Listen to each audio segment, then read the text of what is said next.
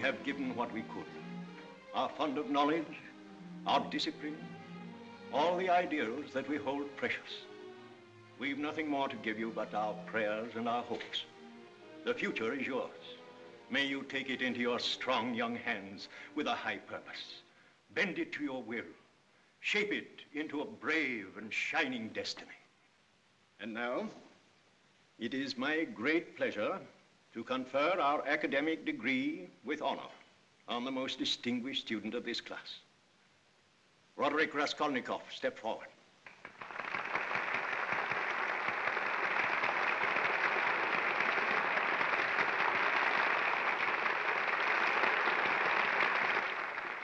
In the history of our institution, there have been few young men who compared with him in mental brilliance, and few for whom the future held greater promise.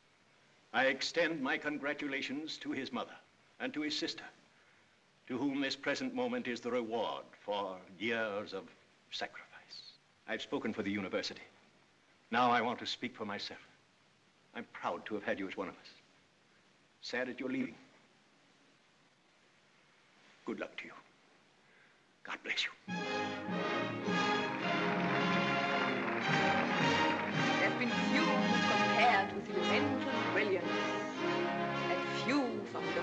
Future held greater promise. Tony? Mother, help! Here, here, here, wait a minute. Oh, Dimitri. Have you met my sister, Antonia? Informally. Mother, this is Dimitri. My son has mentioned you in every letter. He tells me you're his best friend. Well, don't you believe him. He's no friend of mine. A man rooms with me for years and never tells me about his sister. I did tell you. Ah, but not enough. How was I to know from looking at you that she was so beautiful? Here's your chance, Tony. No brains, not much money, but enough. So work fast. Oh, Roderick, I'm so happy.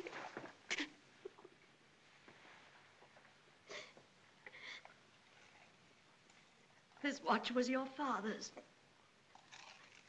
He told me to give it to you on this day. How proud he'd have been. If only he could have lived to give it to you himself.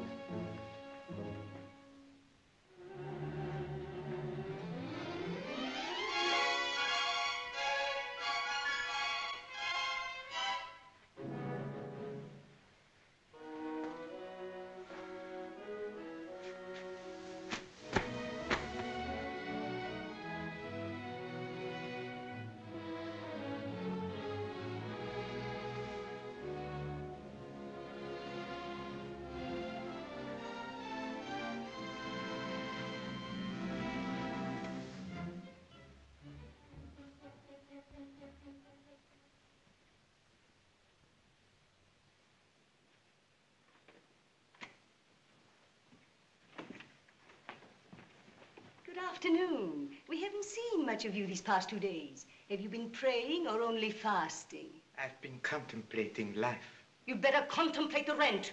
I haven't had a penny out of you in six months. How much longer do you expect me to wait? Can you stand the strain another half hour? Oh, you're going to pay me in half an hour.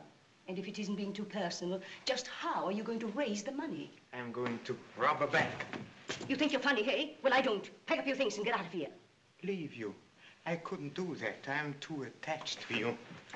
You pay your rent tonight or I'll take measures. You're a disgrace to my house. Someday, they'll put a sign on it telling the world that I, Raskolnikov, once had the privilege of starving here.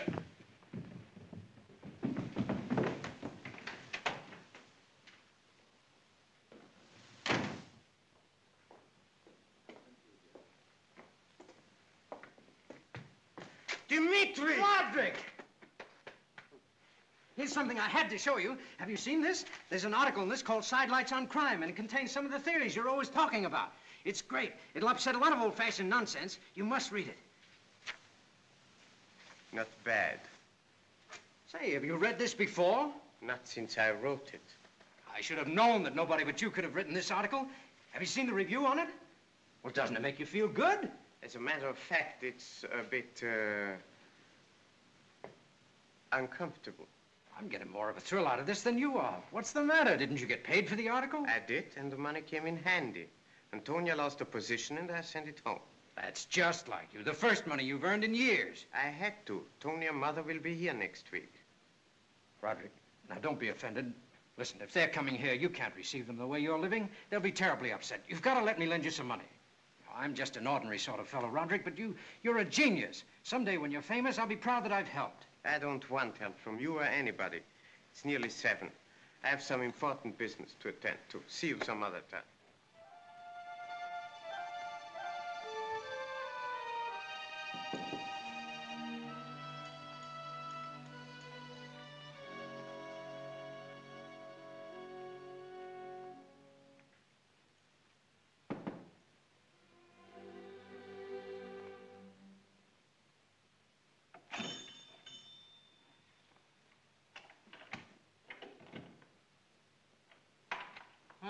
You.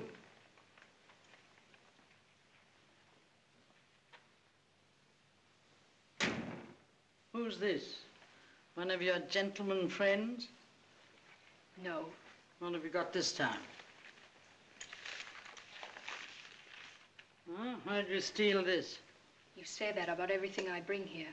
Why shouldn't I? Look who brings them. Been in our family a long time. What you want for this?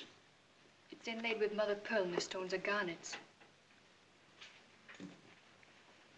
Garnets, eh? Worth at least a hundred rubles, and I thought I could get 20 for it. So it's been in your family a long time. If you look on the first page, you'll see my name was written down when I was born. And my little brother and sister marked down there, too. Mm, how long since you looked inside of it? I read it every night. You read the Bible every night? You oughtn't to be allowed to touch it. I'll give you eight rubles for it. I'll take the eight rubles. Wait a minute. The inlay's coming loose. There's another stone missing. I'll give you six. Take it or leave it. What have you got? Watch. I'll take the six. The less you give me, the easier it will be for me to pay it back, I suppose. But this is only one. You said six rubles. That's right. Six. Less three months' interest on your shawl, 10% a month on eight rubles makes 240. And you owe me two months' interest on your silver necklace and your buckles. That makes five rubles. Five from six leaves one. Is that clear? Or do you expect me to be in business for love? Well, then, what are you waiting for? Do you want your Bible back? No. Come along, then, and get out. Don't hang around here all day.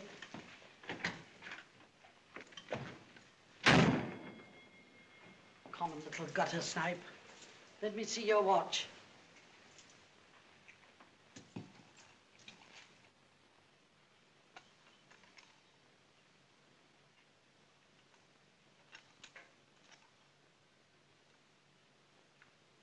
To my son, may he wear it in honor. Hmm. I want 50 rubles on it. I'll give you ten. You can't do that to me. Give me the ten and let me get out of here before. Before what? Before you eat me up?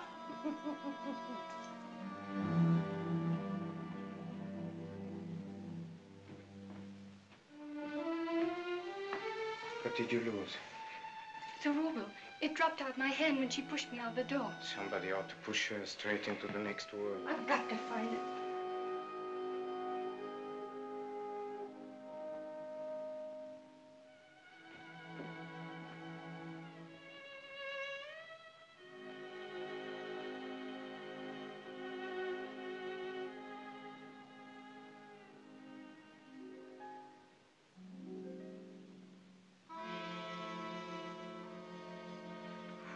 What use that money to her? It could save a hundred lives like yours and mine. It's plain arithmetic. You could use some of her money, couldn't you? What will you do if you don't find ruble? She ought to be stamped out. You shouldn't say things like that. black beetle squatting up there on her money box. It would be a service to humanity. Crime would be a strange way of serving humanity.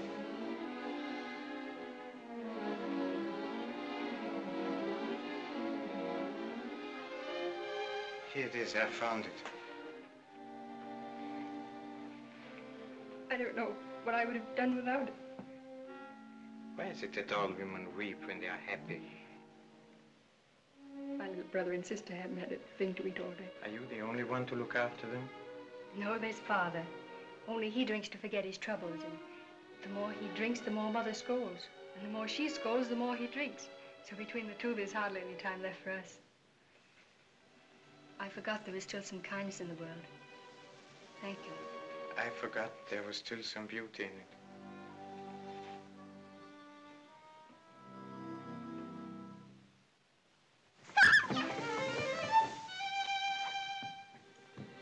Now let me tie this around your wrist so that you can't lose it. The money's in there. Now when you get home, don't let father see what you've got. Understand? Give it to mother. Wait a minute. Let me make you pretty.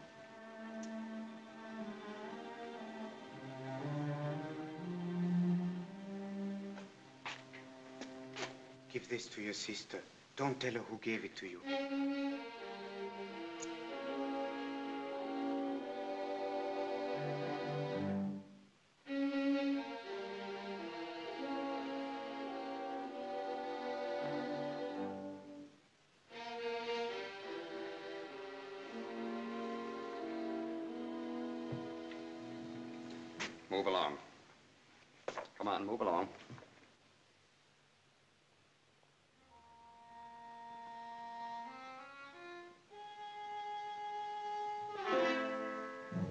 Excuse me.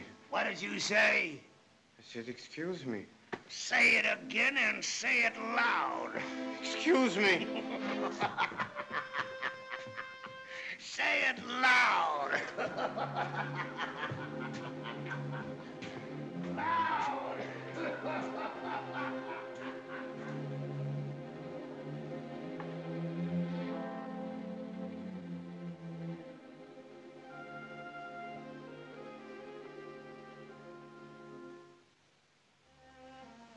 How much higher do I have to climb?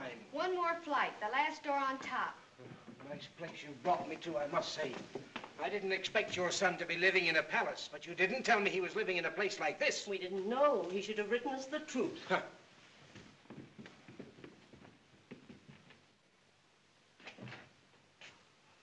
Roderick.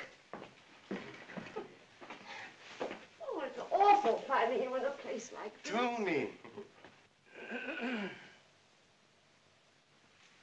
Oh, Roderick, this is our friend, Mr. Lushin, my son. How do you do, sir? Mr. Lushin's a very important man. I'm honored. He holds two government positions. Two. I'm doubly honored. I can't tell you how kind and helpful he's been to us. After Antonia lost a position, we were in terrible trouble. Mother, please don't let's talk about it now. What trouble? She wouldn't let me write. The husband of the woman she worked for turned out to be the most horrible person. I had to leave because I wasn't obliging. Let's not go over that again, Mother. Tell him about the revolver. What revolver? She had to keep it under her pillow at night to protect herself from him. Then his wife found out and lied about me after I left. You can imagine how easy it was to find a position after that. It was lucky Mr. Lushin came along to hmm. help us. Shall we tell your brother now? Why not? He'll have to know sometime. I know this will be a great surprise to you, Roderick, that Mr. Lushin and your sister are engaged to be married. Show him your ring, Antonia. Tony engaged? Well, sir, is that all you have to say? I want to understand this clearly. What's there to understand? Mr. Lushin has honored me by asking me to become his wife. And I've accepted because I, I love him. Madam, let me compliment you on your son's manners. Oh, please don't be offended. Her happiness means everything to him. Roderick, I think you ought to know that Mr. Lushin's marrying your sister without asking for any dowry at all. Hmm. I may say that I have fairly advanced ideas on the subject of marriage. Indeed. I prefer a girl like your sister who's experienced poverty. I believe that a wife should always look up to her husband as a benefactor. And here's the best news of all, Roderick. Mr. Lushin has agreed to employ you as his private secretary. I'm afraid you're stating things a little too definitely. I didn't absolutely agree to employ your son. But, Mr. Lushin, you did. You promised me. It was quite definite. No, I did not promise. How can you say that? You did. For the sake of clarifying our future relationship, please understand that I prefer not to be contradicted.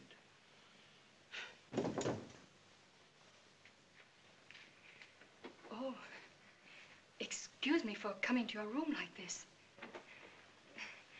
I just had to thank you for the money you gave us. I would have come sooner, only I didn't know where you lived or even your name. Then I remembered that pawnbroker broker could tell from her books.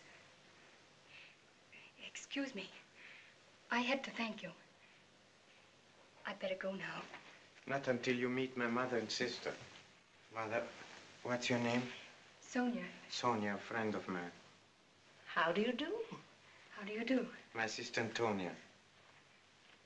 I don't think you should be asked to meet a person who's a nameless acquaintance of your brother's.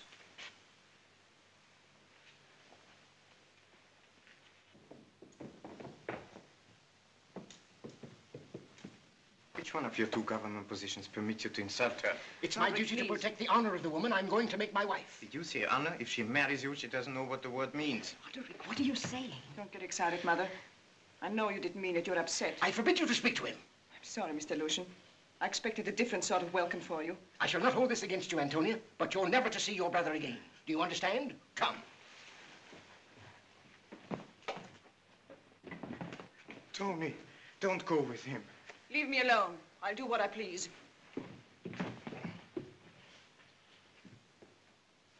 Mother, you must stop her. Take her home with you at once. But, darling, we've nowhere to go. Mr. Lushin promised to pay our hotel bills after we got here. You mean, without his help, you have no place to sleep tonight? Roderick, don't you see? There's no use fighting against the will of heaven. All I can see is that my sister is selling herself for a night's lodging. Don't make this seem worse than it is. She's doing this for you. I won't have it. This is only a question of money. Are you going to let him buy Antonia's future? And yours and mine? We'll talk this over again in the morning. I'm sure you'll feel differently about it then.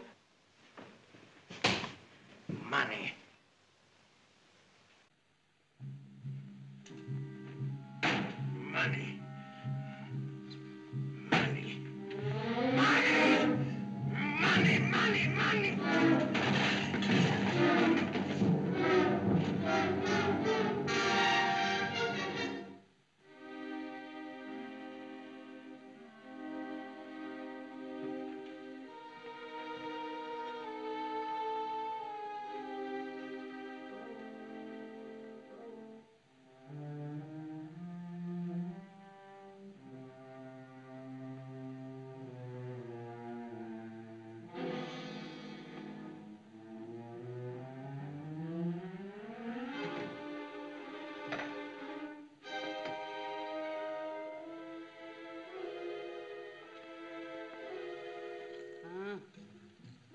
What are you tying all those knots for?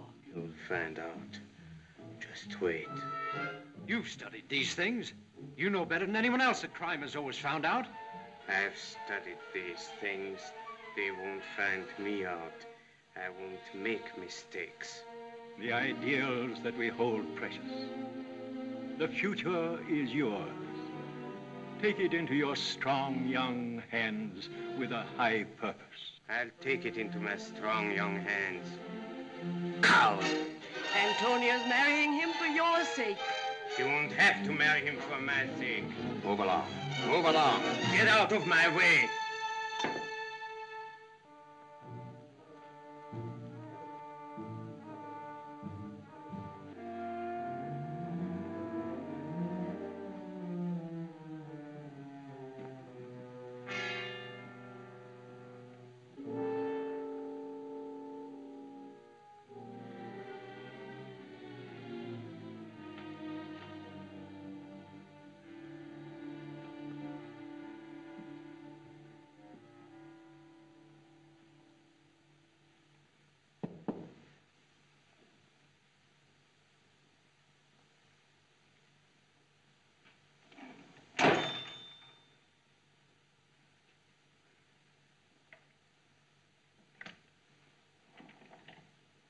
What do you want? It's after hours. It's me. Don't you remember? I've got a valuable cigarette case. Oh, nice hour this to come around with your rubbish. Come in.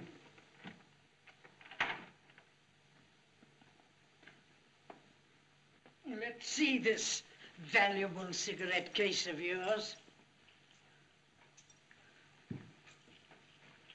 What's it made of? Lead? Gold. What's the idea of making so many knots? Uh, it must be inlaid with diamonds the way you've tied it.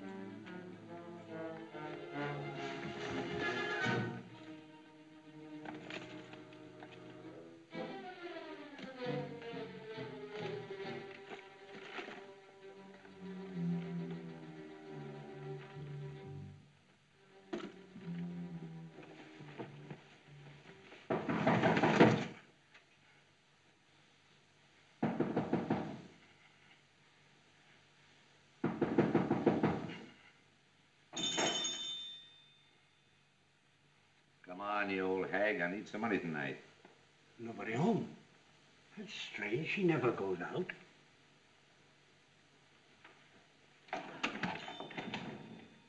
Look. It's latched on the inside. There must be somebody home. Well, she couldn't go out and leave the door latched on the inside. Something queer about this. Let's go down and get the porter.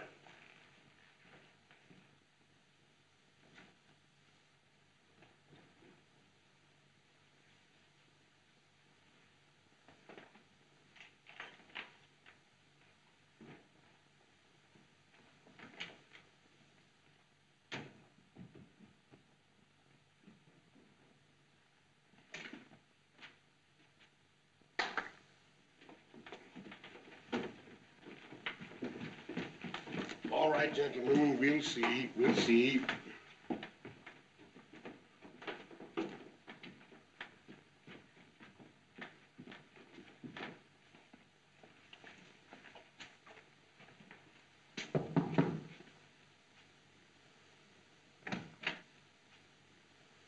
The latch was on a moment ago.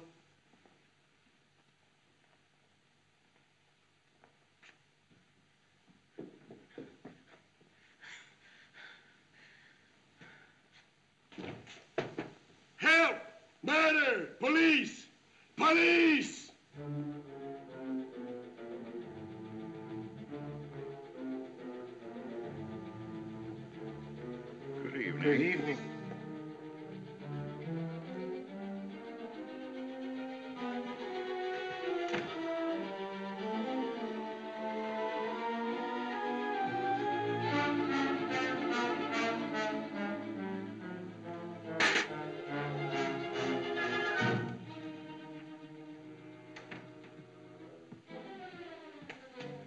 Looking for something? I took some of your old newspapers. I haven't seen a paper for days.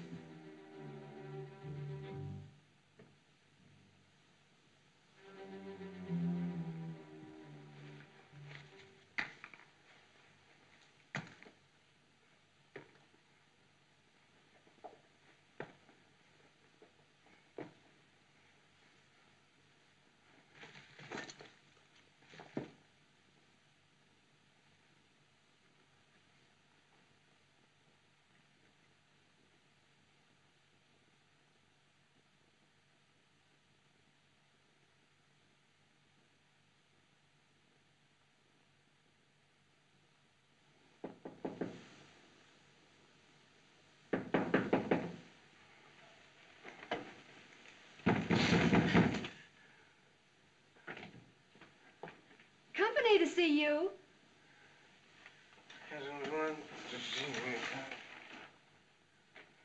You've been sleeping with your gloves on.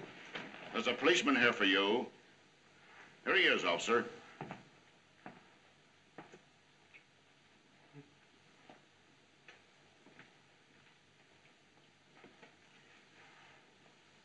Are you the writer, Raskolnikov? Yes. Come with me. You're wanted at headquarters. Well, you'll find out when you get there. Hurry up. We haven't got all day. Excuse me. This door. What I want to know is who says they were drunk in my cafe and fighting? As far as I can judge, every neighbor within the radius of a mile. What do you want us to do? Go around talking in whispers? Why, it's the most refined place in town. You ought to know. You were there last week. Please remember, madam, I was there in my official capacity. What do you want? Why, why have I been brought here? In a hurry. When your turn comes, we'll give you plenty of time. Well, if there was a disturbance, why don't you go after the person who caused it? One of your own officers. Oh, we won't mention any names, but in comes your fine captain, drunk as a pig, and orders three bottles of champagne. Then he lifts up one leg, like this, and brings it down on my piano and starts to play it with his boot. And when I asked him, most politely, please, please not to break my piano, he slapped me in the face. Then he slaps Henriette, and he slaps Louise, and he slaps Matilda, he slaps all my entertainers. And then he chases me all over the house. Well, chase yourself over there and cool off. What's your name? Just call me Raskolnikov.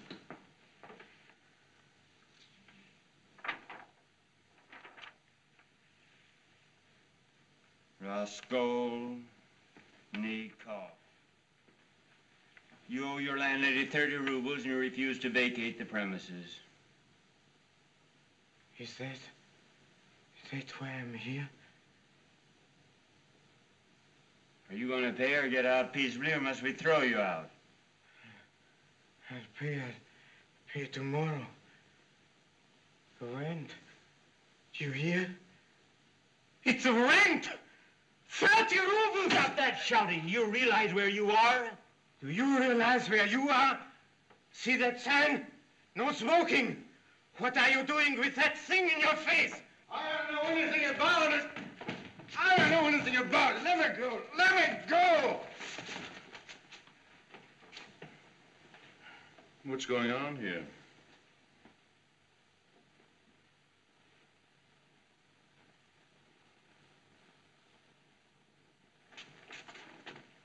Is this the man that tried to sell the earrings? Yes, sir. We found him working in an empty flat under the old pawnbrokers. Your Honor, I know nothing, nothing.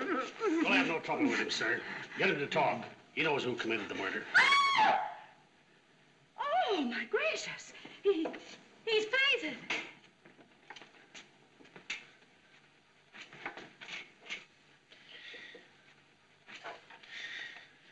I'm sorry. The heat.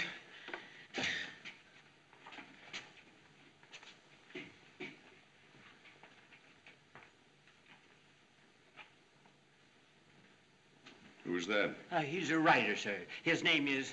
Uh, just one moment, sir.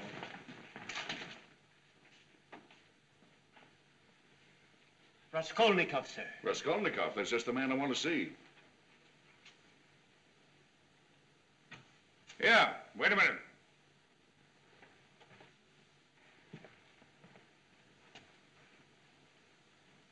This is an unexpected pleasure. Porfiry is my name, Chief Inspector.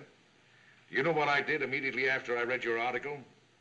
I wrote to the editor of Current Review to find out the name of the genius who was the author. I thought I knew something about crime, but I swear you put me and my staff in the kindergarten class. Come into my office. You'll find it a little cooler there. I'd like to have you help us on a brand new murder case. It'll give you a chance to see how the blundering police work. What do you mean? The policeman took him away. They arrested him? What for? The policeman came and took him away. Come in, sit down.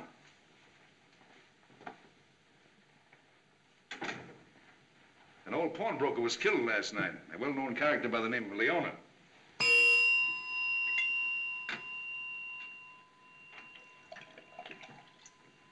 Bring the prisoner in. Yes, sir.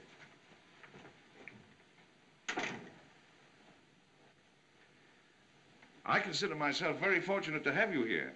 You see, I have a feeling that you have a, an instinctive understanding of criminal types that might be more valuable than all the years of my experience.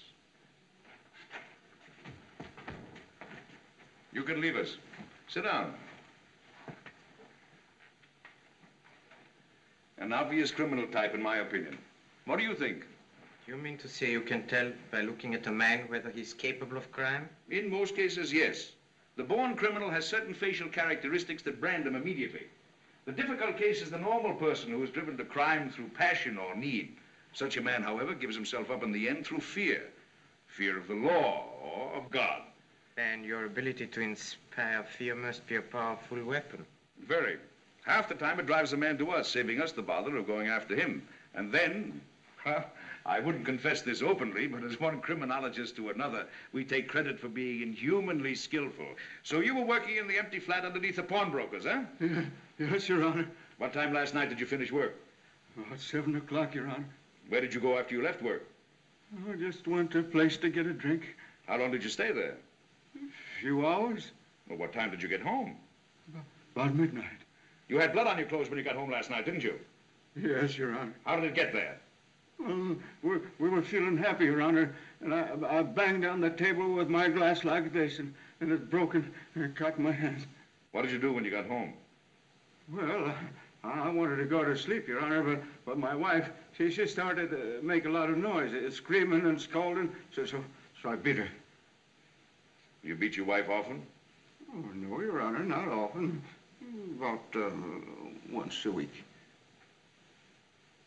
This must be one of the extraordinary men you describe in your article. You know, I was very much amused the way you classify all men into the ordinary and extraordinary. Ordinary men, you say, uh, must obey the law because, well, because they are ordinary. But extraordinary men have a right to transgress the law because they're extraordinary. Is that right? Not exactly. I maintain such a man should not be judged by ordinary standards. For example, Napoleon.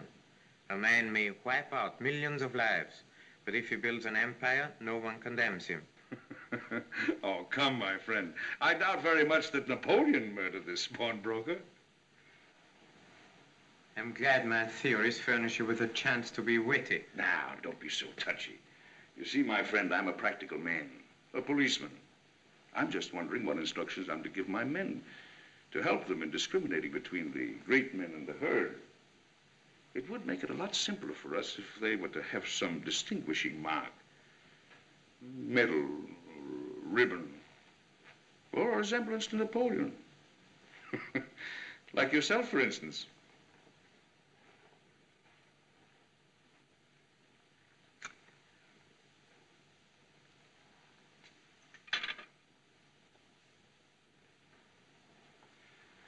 At what time did you get to work this morning? Uh, seven o'clock, Your Honor. But you left your work immediately afterwards, and at eight o'clock you tried to sell a pair of gold earrings. Yes, sir. Where did you get those earrings? I found them. Exactly where did you find them? Behind the door in, in the empty flat where I was working. Did you ever see this before? It's a poker, but... Yeah, so you know it's a poker.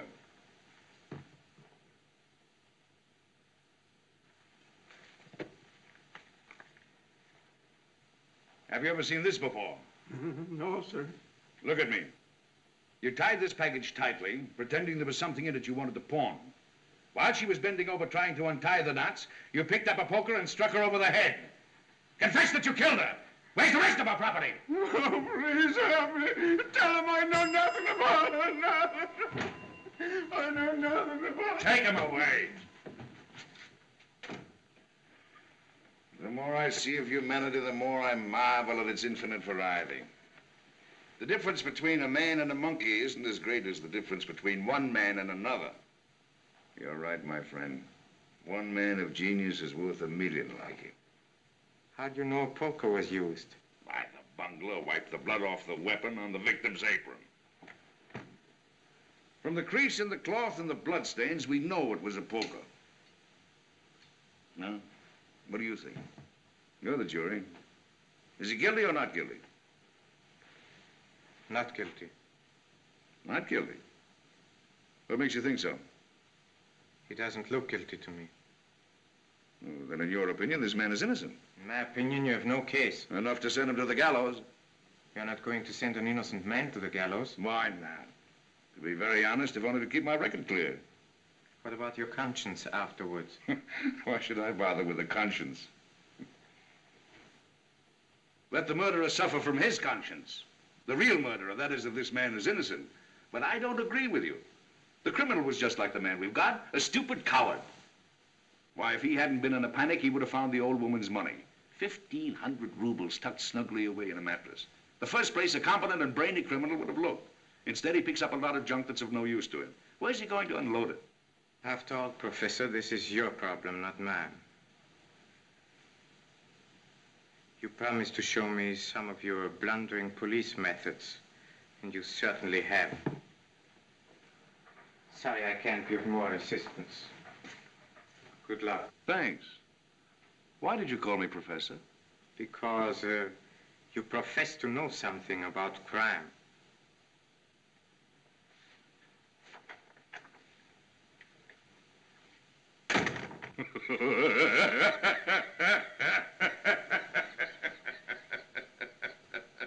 Roderick, what are you here for? I didn't know what to think when I heard they arrested you. I'll tell you all about it some other time. You've got to let me have some money. Now's your chance. Why, of course. 30 rubles, not a penny more, not a penny less. My mother and sister arrived. Oh, they did? Where are they? When can I see them? Tonight. I'll wait for you at 8 o'clock.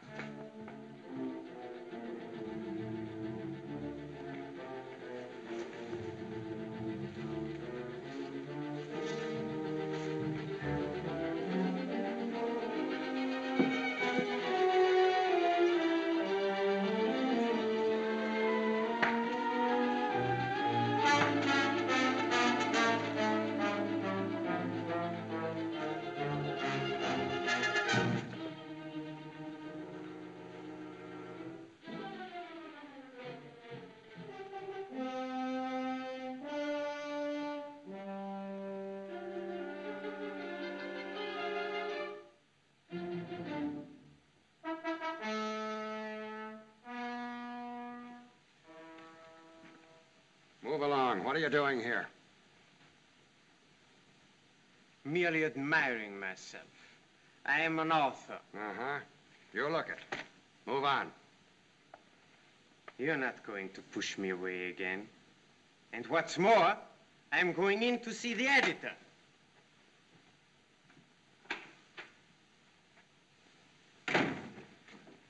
I want to see the editor. You'll have to write for an appointment. The editor is a very important man. So am I. Just a minute. Have you got an appointment? Where do you think you're going? To see the editor. You'd better get out before you're thrown out. Here you I want to see the editor. What's all the rumpus? Someone giving birth to an idea? My name is Raskolnikov. He was trying to brush right in without an appointment. Well, take a good look at him. Let him brush right in any time he feels like it. Come in, sir.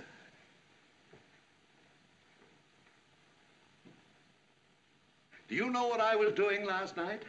Going over the letters that came in on your article. Some of them are from the most important people in the country. Why, the chief police inspector of our own city wanted to know who wrote it. I just left him. Really? He asked me to help him on a case. Well, have a cigar. No, thanks. Uh, some port, then. Thanks. Uh, when do we get your next article? There won't be any next one. Well, what do you mean? You can't stop now. The editor of the National Weekly wants me to do a series. That pirate. Why doesn't he develop his own writers instead of stealing mine? You're my discovery. You didn't think enough of your discovery to put his name on the article. I'll put your name on the cover if you wish. That pirate is willing to put my name on a check for 750 rubles. I'll put it on a check for a thousand. How's that? Or perhaps you prefer the cash. I'll get it for you. I'm sorry you didn't get the idea of dropping in sooner.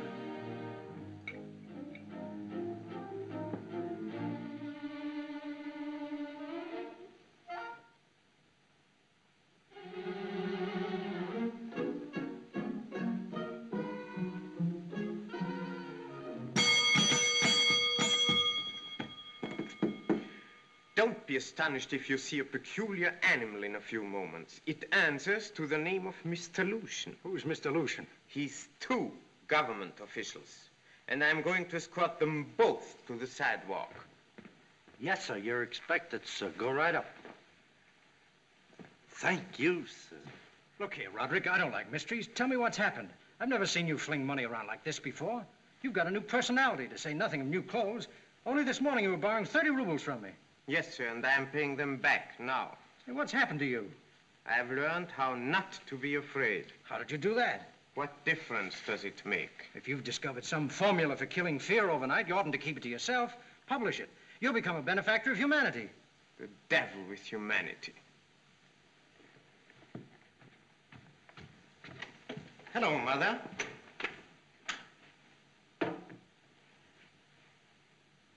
You've got a new suit on, Roderick. How splendid you look. Dmitri. How do you do? We've been talking about you wondering when we'd see you. For me? Thank you. oh. Antonia, see who's here. Antonia, I thought I'd bring you some flowers. Thank you. I'm so happy to see you again. Mr. Lushin, may I apologize for what happened the last time? Of course, I'll accept your apology if you're very sorry. Very sorry. I'm miserable. I want to make a point of the fact that I am not one to be unforgiving. Then may I talk to my sister again? Stop your clowning, Roderick. You know he didn't mean that seriously, did you? Why, no. Thank you. You're very generous. Dmitri, this is Mr. Lushin, my sister's fiancé. Your sister's what? Fiancé, you know, it's what you get married to. Mr. Lushin isn't a day over 50. All he needs is a little exercise to get this down. Roderick, stop that. He's a terribly important man. Six government positions. Imagine. Or is it eight? It's two, Roderick. Two? I'm so sorry. And you ought to see the ring he gave her. Tony, display it. A diamond, five-eighths of a carat. You couldn't expect any less from a man with ten government positions, could you? Roderick. It's a very nice ring, and you know I hate big stones. You've been drinking. No, I have not. Yes, you have. My dear, for the sake of clarifying our future relationship, I prefer not to be contradicted. I believe you've come here with a deliberate intention of insulting me. No, no, no. Emphatically no. That's my hat. So it is. You did it on purpose. Correct again. Antonia, I insist for the last time that you choose between me and this disorderly brother of yours. You made it very easy for me to choose, Mr. Lushin. Here's your five-eighths of a carat ring. And this is for my mother's hotel bill. And this is for a new hat. Your humble servant. That him. Roderick, where did you get this money? Dmitri, where did you get that money? Search me. Where did you get it, Roderick? All I had to do was ask for it. Take what you want. Lie, cheat, bluff. Take life by the throat. Come on, let's go out and celebrate Mr. Lushin's disposition. I mean his final disposition. To my ex-future brother-in-law and all his government positions. May they increase and multiply. And may his children, if any, be tax collectors. oh, by the way, Roderick, I'm about to ask your sister if I may call on her tomorrow. Now that I've seen how you kick her suitors out, do you object? Suppose I do. All right, here's a chance to stub your toes. Antonia, may I call on you tomorrow? I'm afraid if I don't say yes, he'll kick me out.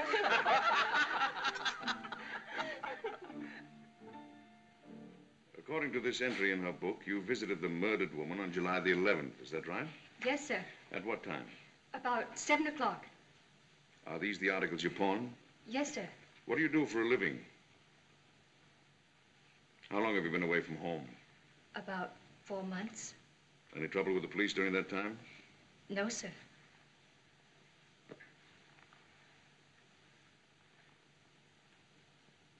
You'd better take this Bible with you. Thank you, sir. Oh, just a minute. While you were doing business with the pawnbroker, did you notice anyone else? Someone came to pawn a watch while I was there. A man or a woman? A man. What did he look like? Can you describe him? Oh, yes, sir. I even know his name, Raskolnikov. Oh.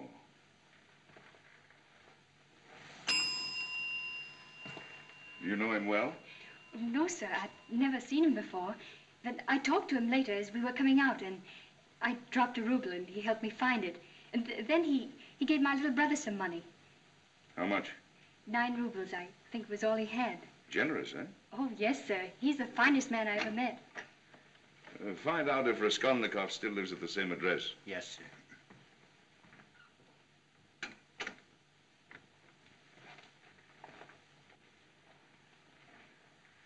How often have you seen him since then? Only once, sir, when I went to thank him for the money he gave my little brother. So, you know where he lives. I found out by asking the pawnbroker. You saw her again, too. When was that? The next morning, she was very cross with me for bothering her. Oh, she was, was she? The old hag, I dare say she deserved what she got. That's just what he said. Then you did see him after the murder. Oh, no, sir. He said things like that before she was killed. what else did he say about her? Do you remember the exact words? No, sir. I'm not even sure that he said the things I told you. I don't remember, really. He still lives at the same address, sir. He paid his landlady the 30 rubles he owed her the same morning he was here. That was the morning after the murder, wasn't it? Uh, yes, sir. From my questions, you think I suspect your friend. That's not so. I have a very high regard for him. You may go now. I want to thank you for this.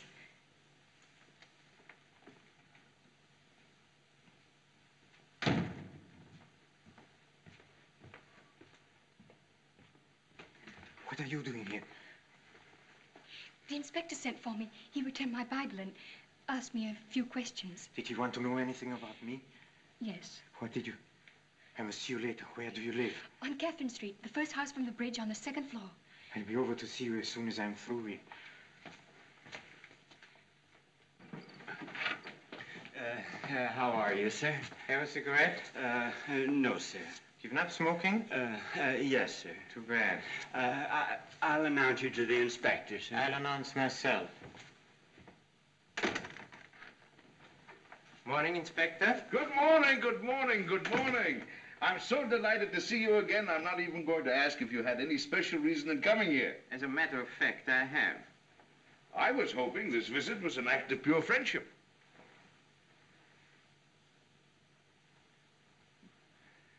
Uh, will you have a little brandy? I never refuse.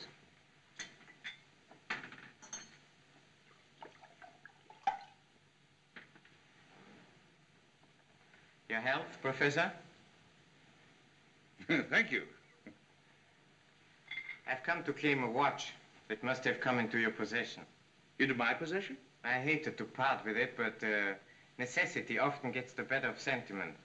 So I took it to the old woman to pawn. What old woman?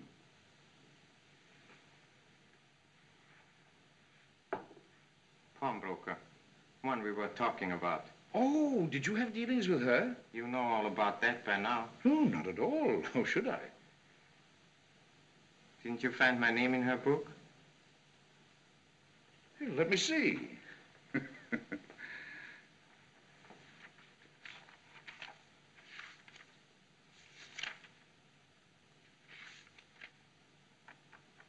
oh, yes, to be sure. I don't know how I could have missed it.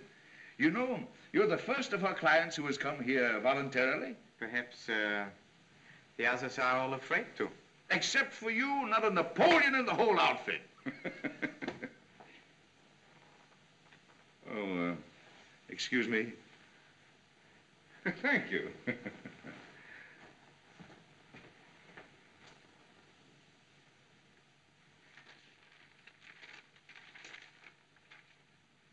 I'm sorry, but your watch isn't listed among the things we found in her place. I'm afraid it's in the possession of the murderer. I hope you'll do all you can to get it back for me. I assure you, I'll leave nothing undone to locate your watch. Thank you. I knew you'd feel that way about it. Incidentally, I'm wondering why you didn't mention your watch the day you were in my office. The day you fainted. One doesn't like to talk about going to a pawn shop. Of course not. I quite understand.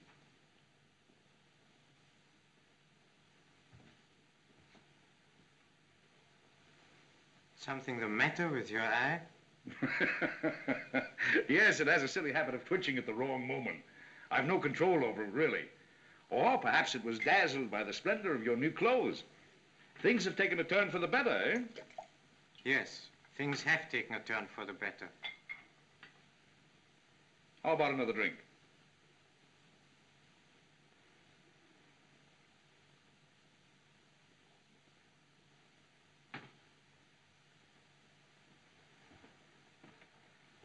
I'm sorry you must leave so soon. Going anywhere in particular? Why, no, I was going to visit my mother. They say every great man owes his genius to his mother. I should like to meet her. This is Captain Porphyry, Chief Inspector of all the police. My mother and sister. How do you do? How do you do? I'm honored. And this young man has practically been living here for the past two weeks. We may need your help to throw him out. Don't be silly, Roderick. We love having Dimitri here. He seems to like this place. Maybe the police can tell me why. you don't need detectives for that.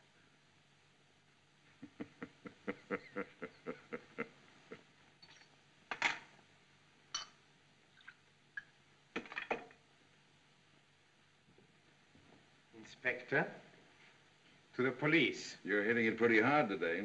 You know, you had two drinks in my office. I'm glad, Roderick. Your friend, the inspector, mentioned it. I've been worrying about it, too. Yes, even Dimitri has spoken of it. By the way, does your son faint easily? Why, no. Have you ever known him to faint? The reason I ask, about two weeks ago in my office, they brought in a man suspected of murder. At the mention of the word murder, he fainted dead away. I told you why, didn't I? It was the heat. And you were starving. Yes. Too poor to buy food. Yet that very morning you suddenly produced 30 rubles and paid your rent. Where did you get that money? If your giant mind isn't equal to that mystery, you might ask my friend. He borrowed the 30 rubles from me. When? Say, what is this, a cross-examination? Yes. He invites himself into my home, and then he accuses me of murder. Murder? He committed murder? What are you talking about? Are you crazy? Don't put words in my mouth. I made no accusation. And why all this? What have you against me? The fact that I visited the pawnbroker and didn't tell you? That I fainted? My new clothes? Here's some money, too. Let your detectives look into that. Roderick, I don't think you should talk to the inspector like that. Inspector, inspect this. No man could have the nerve to commit a murder, then sit in your office, watch you accuse another man, and tell you he's not guilty. If I were the guilty man, I'd find a big stone with a hollow under it and hide the loot for years. Don't you think I'd know you'd wait for the junk to appear? Accuse me of murder if you like, but don't insult me by believing that I'd overlook 1,500 rubles in a mattress. Use your clumsy methods on half-wits, like that poor fool whose life you're going to take, to keep your record clear. Well, I must have been wrong. I apologize. Excuse me.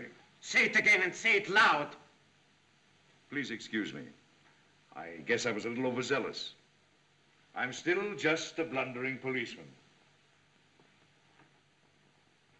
You're a health professor.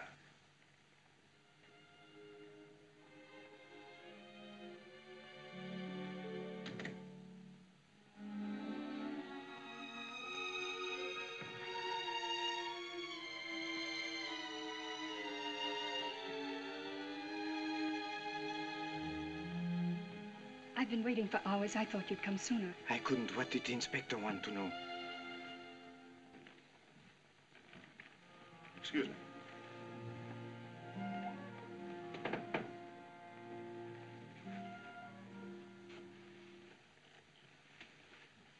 Can you tell me what the room is as for rent? Next door, but you'll have to see the landlady about it. Thank you. I'm a stranger in the city, and I must find a room somewhere tonight.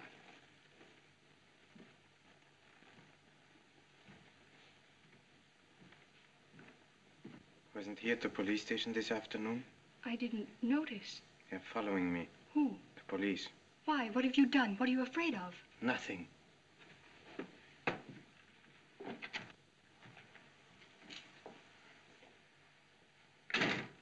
Sonia, did you tell the inspector about meeting me at the pawnbroker's? Yes. And he knew all about my going there to pawn a watch. Yes, I told him. What else did you tell him? Only about the money you gave us. And then he wanted to know. What? What else did he want to know? Before I knew what happened, he made me tell him what you said. That she deserved to die. I tried to take it back afterwards.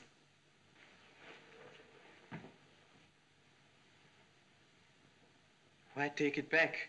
I said it to him myself. Why did you think you had to defend me? You didn't kill her, did you? I don't know why, but the thought went through me just now like a cold wind. Forgive me. If I thought you could do a thing like that, I wouldn't want to live. What do you care? What I am or what I do? I didn't tell you something else the inspector made me admit. What? That you were the finest man I ever met.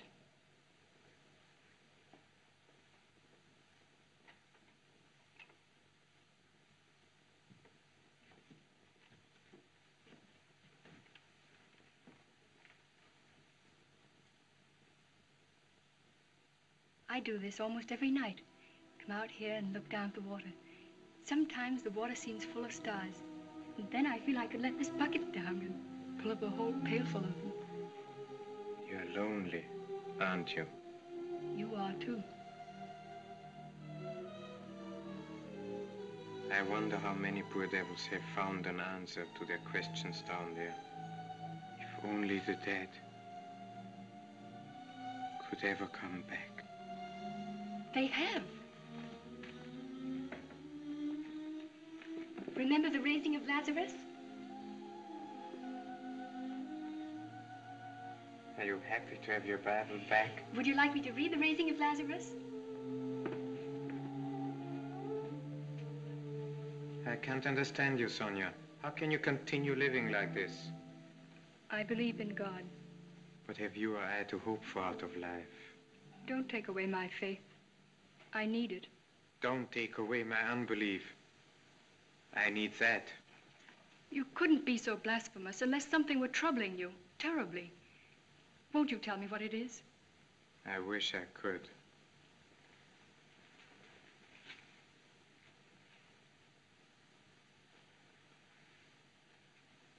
I can't now.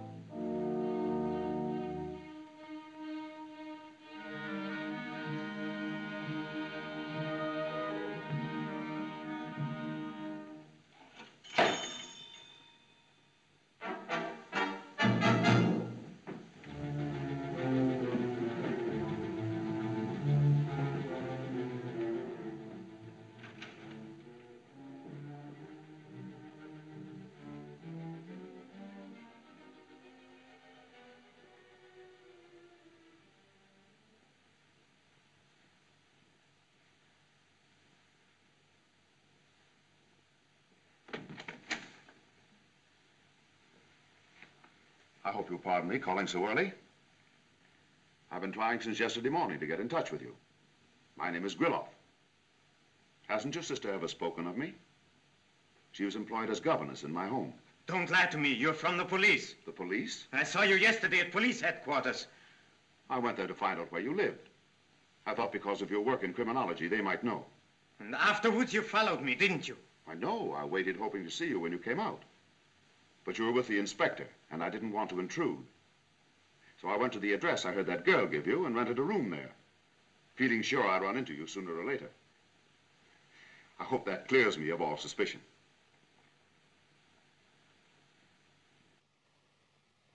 Well, then why did you trace me here? What do you want? With your assistance in clearing up a great injustice. It is because of me that your sister lost her position. It is because of me that her good name was, well, I'll be frank with you. At the time this happened, I was very infatuated with Antonia. But all that's over. Why do you tell me all this? I want you to intercede for me with your sister. I know she won't see me. Odd, isn't it? But did you expect her gratitude? Hardly. That's why I came to you. I want you to give her this. My wife died and left some money to your sister, 500 rubles, to make up for her unjust suspicions. All I'm asking is that you give her the money, let me see her, and apologize. Haven't you ever committed a wrong? If you have, you must know that the worst consequences are the unforeseen ones. It's like dropping a stone in a pool. Waves spread out in all directions and touch shores you couldn't see before. You're trying to buy your way into my sister's life again. With 500 rubles and a lot of hypocrisy. Well, you can't. She's happy and she's forgotten you ever existed. Your money comes too late and your apologies aren't wanted. Get out. All right. I'll see your sister, and it won't cost me 500 rubles. Hello, someone has money to throw away. Rather an aggressive gentleman. Your powers of deduction again, Inspector. Now, don't rub it in. So this is where you live, eh? I knew I'd find a picture of Napoleon here. But Beethoven, what a strange pair. You know, Beethoven dedicated a symphony to Napoleon. And when he discovered Napoleon was a false god, he tore up his dedication. I wonder whether you'll feel the same way someday. I doubt it, but you didn't come here to improve my mind, did you? Now, look here. I had to talk to you alone, away from your family. Why? To accuse me privately? I'll admit I connected you with the murder of the old pawnbroker. Not at our first meeting, mind you, but later. You know how a policeman's mind functions. I began piecing things into a pattern. Your desperate poverty, your sister marrying for your sake, your fainting when the arrested man was brought in, all this talk about supermen being above the law, flashing all that money, which I didn't know until this morning, came from your publishers. You must concede it would have looked pretty bad, even to you. And you no longer connect me with this amateurish crime. Please, put the thought out of your mind once and for all. May I smoke? Make yourself at home.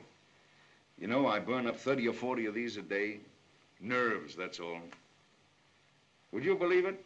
Every time I'm brought face to face with a guilty man, I smoke. I drum with my fingers. Pace up and down the room, talk about all sorts of irrelevant things, just to avoid getting to the point. Absurd, isn't it? If this case isn't cleared up soon, I'm afraid I'm going to have a breakdown.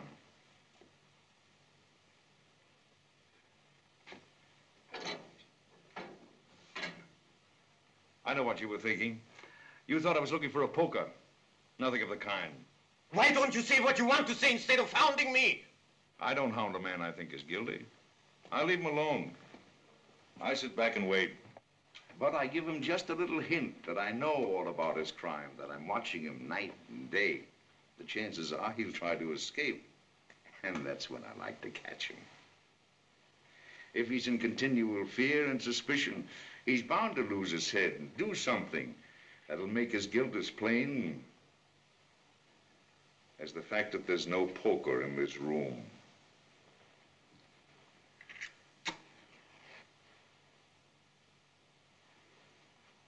I must get back to my duties. This isn't getting the murderer. I wonder how far away from me he is at this moment. Speaking of nerves, I actually know of cases where the criminal has returned to the scene of the crime as if he were drawn by a magnet. Do something foolish and impulsive like ringing a bell and running away. Strange, isn't it? I must say, for a great specialist in crime, you're not helping me very much. If you arrive at a conclusion, come in to see me. I'm always in at four o'clock.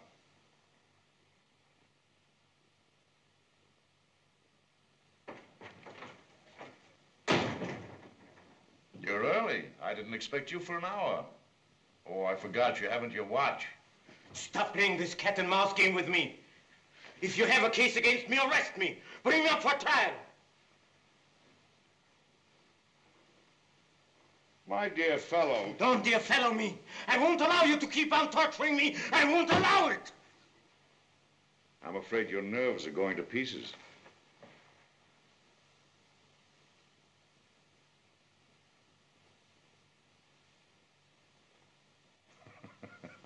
you remind me of certain types connected with every important crime. Awful nuisances. They get to thinking about it, brooding over it. By some peculiar mental twist, they convince themselves that they're guilty. And then they come here, like you, and insist that we put them in jail. Get out in the open. Take a walk. Watch the clouds. Let peace enter your troubled mind. There's no greater blessing on this earth than peace. If you were guilty, the very last thing to do would be to throw you in prison because that puts you out of suspense. I'd let your mind regain its strength. I might even deprive myself of the chance of getting further evidence against you. No, in a case like this, I can afford to wait. Sooner or later, the man will come to me and confess because he wants peace.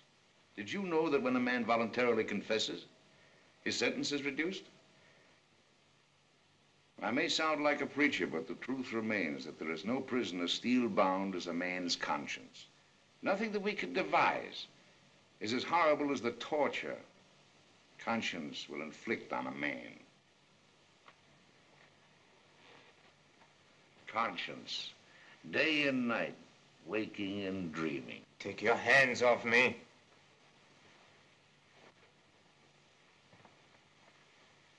Why should it be my lot to break down a man? What a profession. I should like nothing better than to get away from this clearinghouse of crime. Take a walk in the country. Uh, excuse me, Inspector. Didn't I tell you to leave me alone? Get out of here. Get out before I break your neck. But the man has just confessed. I confess I am guilty. I am the murderer. Punish me. You're lying. You didn't kill her. I tried those nuts, I tell you. I hit her over the head with a poker. I am the murderer. I hated her. Oh, you idiot. You didn't even know about her until we arrested you. You didn't know anything about it until we beat it into you. Take him away if he wants to go to Siberia that badly. I'm guilty, I tell you. Punish me. I want to die. Well, I didn't expect that. Good work, Inspector. What a triumph for your methods. First you make him confess, and then you try to make him believe he's innocent. Marvelous police department. Let the man alone. Let his mind be at rest. Let his conscience be his prison. What was that beautiful expression? Steel-bound. You should have been a writer. Better take that walk in the country, Inspector. You need it.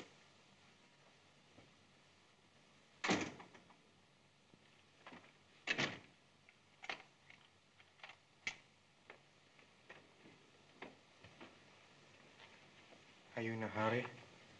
No, Sonia, I must talk to you. Uh, I may never see you again. you're going away? Yes. Where are you going? I don't know. Then why? Because I'm free now Free from what? from the police. They suspected me of murder. But that's all over now.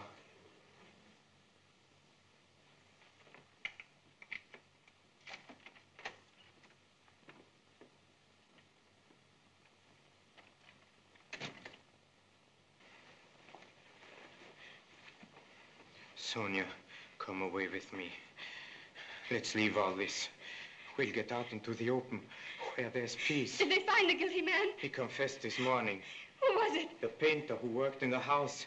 Why all these questions? Leave me alone. I've been questioned enough. Put that away. I don't want to be reminded of that old hag. And it was a cave, and a stone lay against it. And he said, take away the stone. What stone? What stone are you talking about? How do you know there was a stone? It's the stone under which Lazarus was buried. And Martha, the sister of Lazarus, said, But he has been dead for four days. And he said to her, If thou believest, thou wilt see the glory of God. And so they took away the stone. And he lifted up his eyes and said, Father, I thank thee that thou hast heard me. And when he had thus spoken, he cried in a loud voice, Lazarus, come forth. And he that was dead came forth.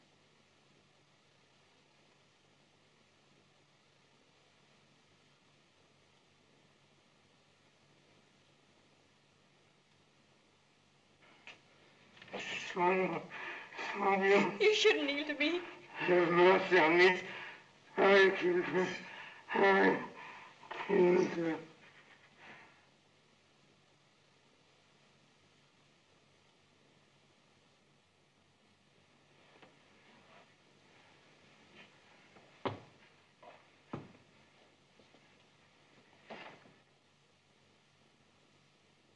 Why did you do it?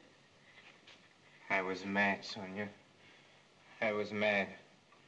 What shall I do now? I don't know what to tell you because you have no faith. And if I did have faith, Then I would tell you to confess and atone for what you've done. confess to the police, How else can you save the one who's being punished instead of you? confess to the police, and rot in prison? Is that fool's life so valuable to you? It's his life. You've no right to take it away from him. Why do you think of him? Why don't you think of me? I am thinking of you. You can't carry such a burden. It'll be a greater punishment than, than any the law can give you. You couldn't stand it. I'll get used to it. I'm not as weak as you think. I was strong enough to commit a crime. I'll be strong enough to live with it.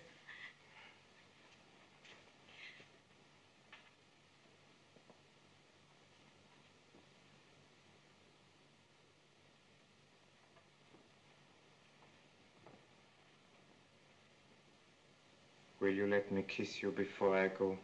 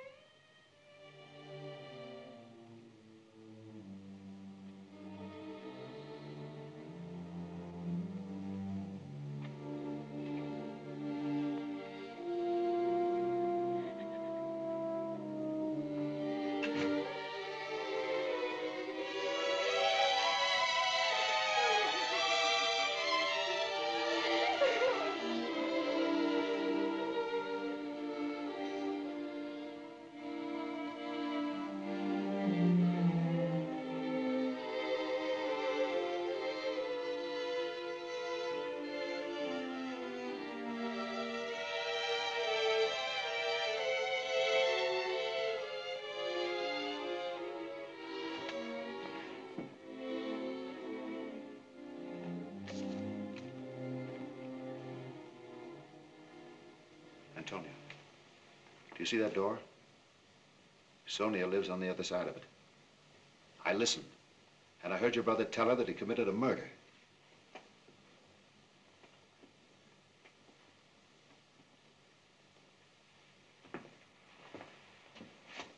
You can't make me believe that. You made it up. It's another one of your contemptible schemes. No, Antonia, I'm not lying. Ask the girl yourself. Do you want me to call her in? But you know it's true. You must have noticed how strangely your brother's been behaving. The other day I went to see him and he was frightened out of his wits because he thought I was from the police. Antonia, I'll help you get him out of the country. Anywhere you say. I have money and friends. I'd do anything for you. Anything. I don't believe it.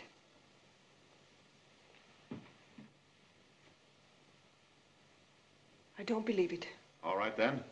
It's my duty to inform the police. Open that door. If you really loved your brother, you wouldn't force me to go to the police. But you love your brother, and you could love me too. I know I made a bad start with you, but things are different now. We can be married and go away together. We'll be happier than you've ever dreamed. Antonia, please Keep listen. away from me. That's the toy you used to keep in my home, isn't it? Keep away.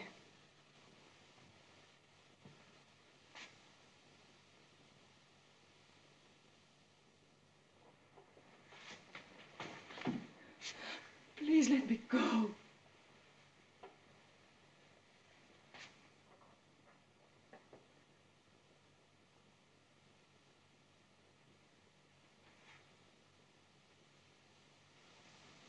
Here's the key.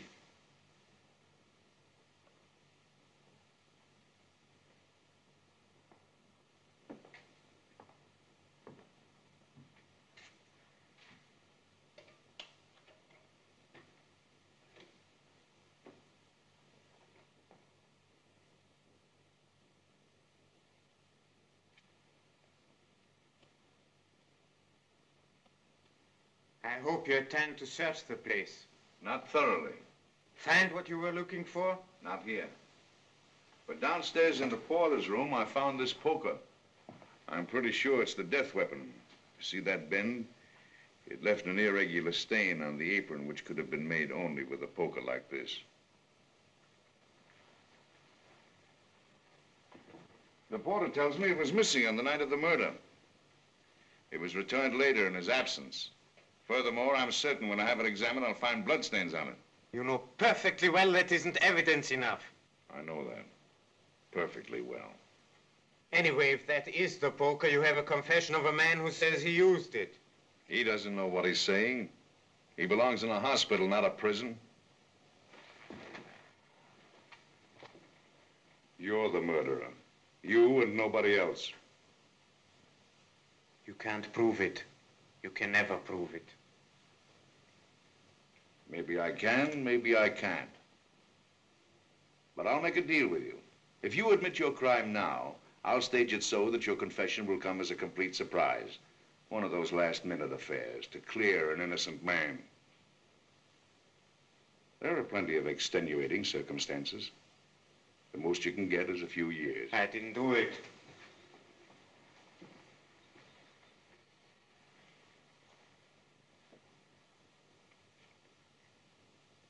How long do you think you can keep up this pretense? Forever? For all eternity? You're wasting your time. Then I'm afraid I'll have to send an innocent man to Siberia. Very likely to his death. It's not my doing after all, it's yours. I don't know how you feel about it, but it's a worse crime than the other. In its way, more cold-blooded and fiendish. A Napoleon might be able to carry that off, but you're not a Napoleon, my friend. You're not hard enough. I'm sorry for you. I wouldn't be in your place for anything in the world. Oh, by the way, you once told me if you had committed the crime, you would have looked for a big stone with a hollow underneath to hide what you stole. If at some future time your nerves get the better of you and uh, you're driven to some desperate measure, leave a little note behind telling me where the stone is. I consider it a personal favor.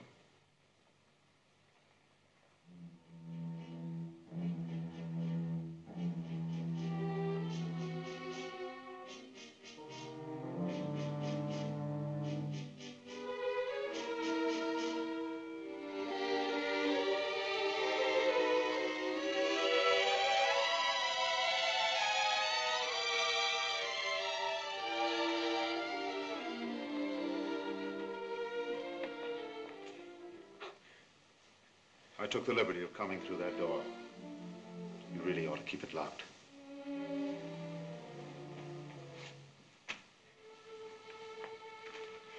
What's that for?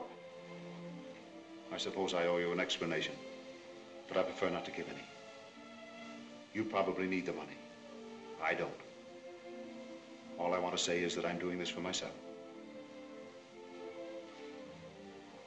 I overheard him telling his his troubles to you. Tell him he need fear nothing from me. What has he to fear from you or anybody else? The only one he has to fear now is himself. You're right, my child. The only one a man ever need fear is himself. I must find him. I must find him. Where is he? Do you know? Do you know where he is? Probably with his sister at the Alexander Street Hotel. Have you been crying? No, Mother. The wind blew something to my eyes. You have been crying. What's happened? Did you quarrel with Dimitri? No. Is it Roderick?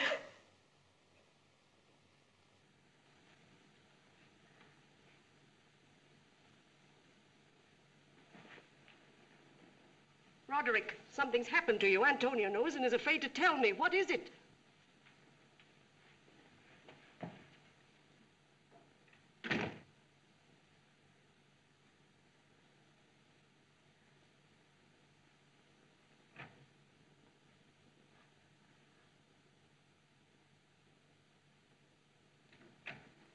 Do you know? What are you going to do? I'm going away, leaving the country tonight. Have you money enough? Yes. Oh, Roderick, why did you do it? Why did you do it?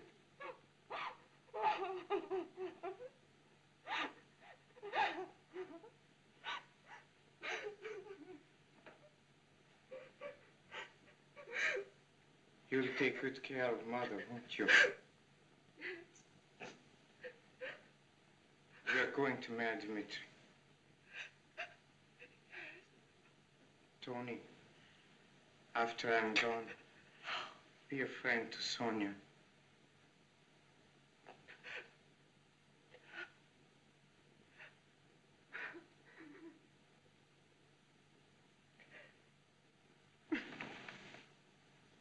You haven't come to me like this since you were a little boy.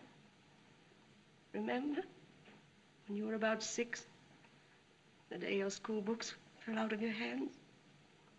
They fell on one of the kittens. Remember how you nursed it back to health? You were such a sensitive boy. So afraid of causing pain. Remember how you asked me to tell God you didn't mean to do it? And when I told God, you were so comforted you fell into a peaceful sleep. Roderick, the greatest happiness a mother knows is when her children come to her for comfort. You believe that I am good, don't you? I know you are. You know that I always wanted to help you and Tony. You've always been good to us, Roderick. No, Mother, I haven't. When I wanted to help you most, I forgot you most. When will I see you again? Tomorrow, perhaps.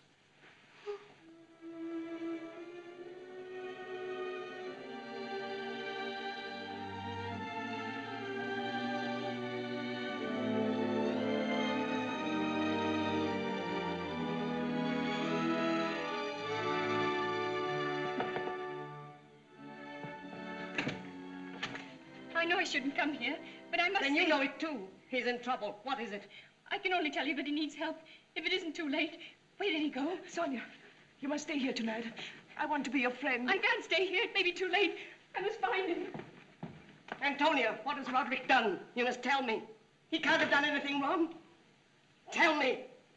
He's only your brother, but he's my son. You must tell me. Mother, remember that night we arrived? That's when it happened. What happened? Do you remember what the inspector said that day he was here? Mm-hmm. Mother, he did it for us. He did it for us.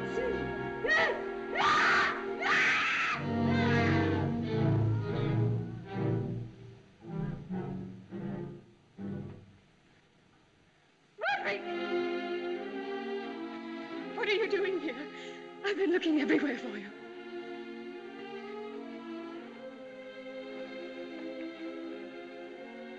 Roderick, what are you doing here? I. Thinking of escape. Not that way. No. That way seems too easy. Roderick, last night you wanted to kiss me. I didn't want you to. The sinner and the saint. Don't call me a saint. I'm only someone who loves you, and you're not a sinner. You didn't do it for yourself. It's no sin to destroy an ugly thing like a, a black beetle. You wanted to help others. It was wrong for me to tell you to give yourself up. Let's go away to a different country, to some place far off where people won't know us. We've got money enough. It'd be easy to forget all we've been through. I'll help you to forget. You'll become famous, Roderick, and I'll be so proud of you. Forget. Everything. Even the man who is going to be condemned instead of me? He's no man, he's an animal. It won't make any difference to him. You're giving me back my own words. And they're ugly. They sound false. They're none. I believe them now.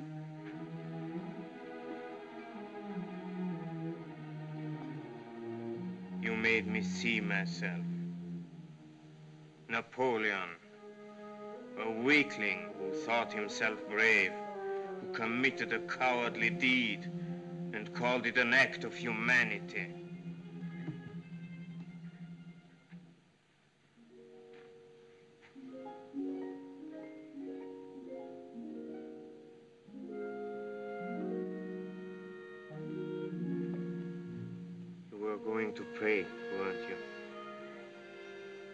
Like to pray, but you can't. The prayers won't come. You know why? Because you've taken my sin on yourself. I won't let you throw away your soul for me. But I love you.